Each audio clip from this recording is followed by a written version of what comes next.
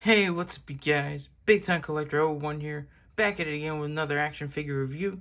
And today we'll be taking a look at the McFarlane Toys DC Multiverse Batman Forever Nightmare Bat Build a Figure Wave Robin. Got this figure from the McFarlane Toy Store. It came in not too long ago. I do really like how the figure looks so far. You get, you know, the collected build Nightmare Bat 204. Got the name on the side some artwork of the Nightmare Bat on the back, other figures from the Wave, the diagram, Robin from Batman Forever. I love how you get the Batman Forever logo at the top. And then here's the barcode at the bottom. This should be hitting stores now. Like, it started hitting stores already, I believe. I don't remember where, but it should be hitting shelves. So let's get to it and crack them open.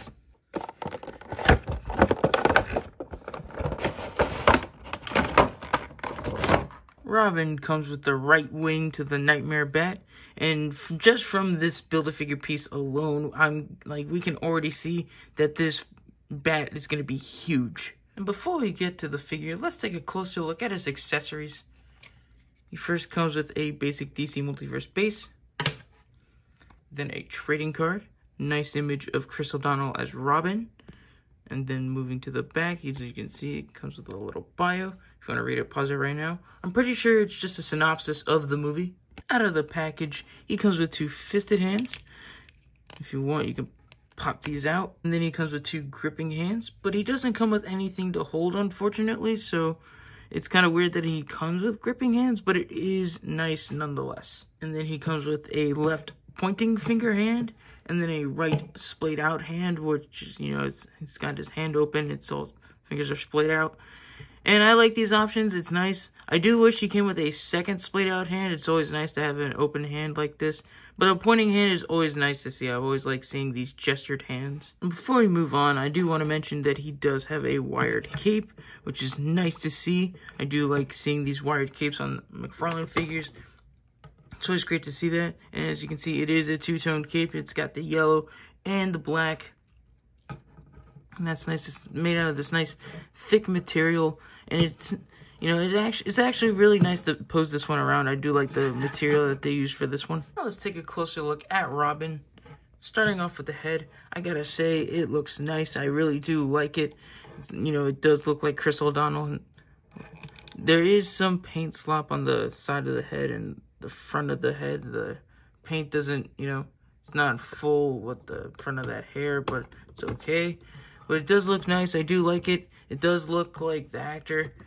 And then bringing to the first one, it is a new head sculpt. That's nice. And I do like how they do both have like a different facial expression as well. So that's also nice to see that they didn't just mold a new mask on the first head. So that's really cool. Now looking at the torso, it looks great. I do like this metallic red that they used. As you can see, you get the R there. It's metallic uh, gold and green. Nice, you know, sculpted fasteners.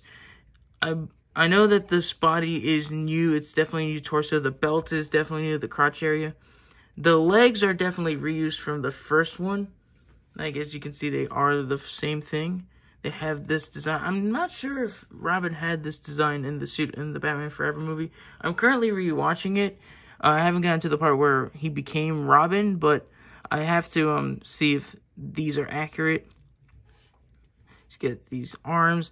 I know these are remolded. The gauntlets from the first one, I are they're actually all new, if I'm not mistaken. The hands, the fist at least, are reused the arms are new as well from on this figure. So there's a lot of good new sculpting on this figure. And, you know, there is some reuse, but there's a lot of new sculpting to this guy as well. Now moving on to his articulation. Starting off with the head. The head is on a dumbbell joint. It can look up this much. Can look down that much.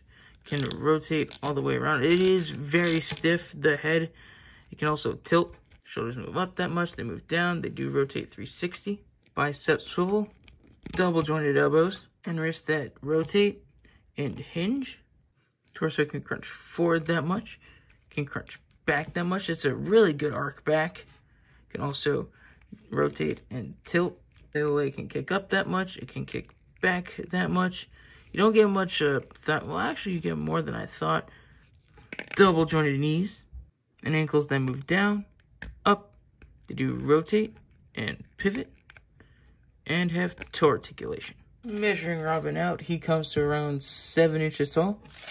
Here he is next to the first Chris O'Donnell as Robin. We have the Robin from Batman and Robin. And then here he is next to the Batman, Forever Batman from the Batman movie Six Pack. And here's this new Robin up on the rotating base.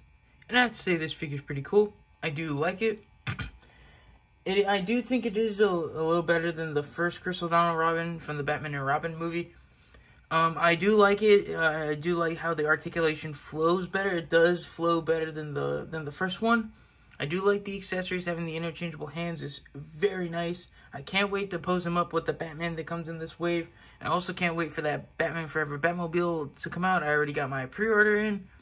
So yeah, this is a pretty cool figure. I like everything about it.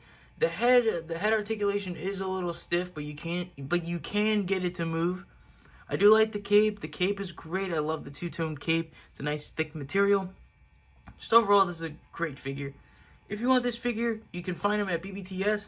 I got mine from the McFarlane Toy Store. I do believe he is sold out there, but people are finding this wave in stores. I don't exactly remember what store, but people are finding them out in the wild, so hopefully you guys can find this figure. If you guys enjoyed this video, please leave a like, comment down below, and subscribe, and I'll catch you guys in the next one. See you.